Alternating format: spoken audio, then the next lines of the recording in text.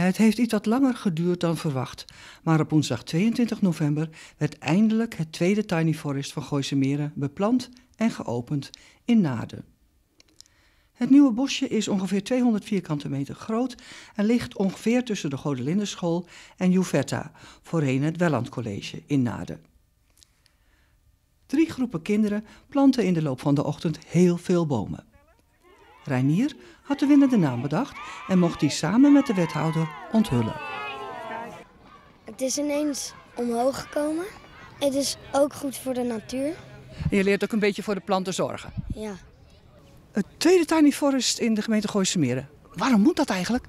Nou, dat moet niet. Maar een paar jaar geleden hebben we dat uh, leuk gevonden om dat op te nemen in onze plannen. Ook waar het gaat om biodiversiteit, klimaatadaptatie. Hebben we gezegd van laten we nou twee tiny forest uh, plaatsen. Eentje in Bussum Zuid en later is toen deze plek uh, gekozen. ook voor de bewustwording, educatie, dat kinderen, scholieren daar gebruik van kunnen maken meer groen in de wijk en, minder tegeltjes in de tuinen, zoiets? Uh, dat is een bijkomend voordeel. Uh, daar gaat dit Tiny Forest niet per se over, maar we houden wel veel rekening met meer groen in de openbare ruimte. We hebben natuurlijk het NK Tegelwippen recent gehad, zesde plaats ook. Uh, dus op die manier proberen we ook meer bewustwording te creëren hoe belangrijk het is om meer groen in de wijk te hebben. Renier, hoeveel bomen heb jij geplant vandaag? Zes.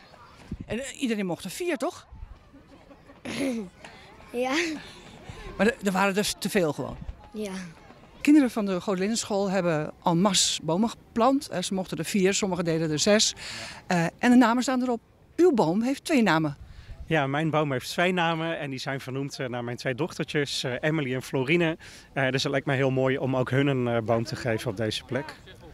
Het onderhoud en het bijhouden van het eerste Tiny Forest in Bussum-Zuid ging niet helemaal lekker. Wat is de verwachting met deze? Uh, dat gaan we samen met scholen doen. Dus we hebben hier de Godelinnenschool en hier Juvechta. Juvechta is natuurlijk eigenlijk hun core business. Uh, dus samen met hun proberen we ook te kijken hoe kunnen we het onderhoud doen in relatie tot educatie. Uh, want als we dat kunnen combineren, ja, dan is dat een win-win situatie voor beide. Dus daar zijn we nog met hen over in gesprek.